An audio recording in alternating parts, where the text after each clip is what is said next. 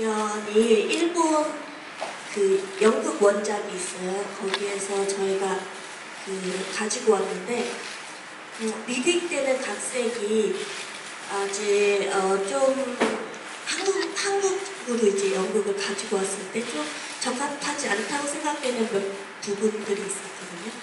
어, 여자를 표현하는 부분이라든지 아니면 편지 어, 사연들로 대부분 이루어지어 있는데 그 사연들의 말투 같은 거라든지 이런 것들이 어, 원활하지 않다고 생각해서 이번에 가지고 올 때는 그런 부분을 좀 초점을 맞춰서 어, 많이 바꿨고요. 그리고 구성 같은 면에 있어서도 조금 더 다채롭게 보일 수 있도록 네, 좀 구성을 손봤습니다.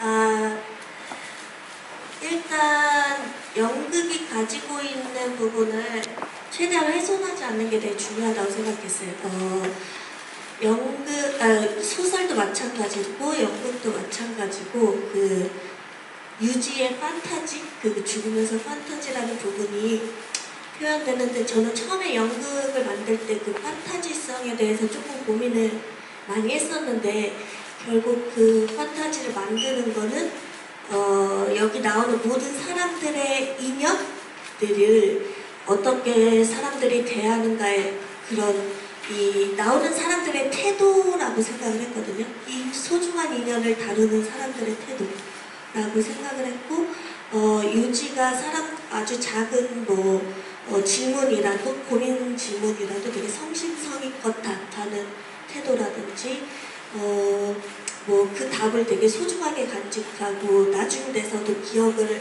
해서 찾아오는 사람들의 태도라든지 어, 그리고 아끼고 같은 경우는 자기가 한강원을 지었지만 오히려 받은 게 많다고 어, 대답했을 때 그런 태도들이 이 기적들을 만든다고 생각을 해서 그런 부분을 최대한 잘 살리려고 노력했습니다.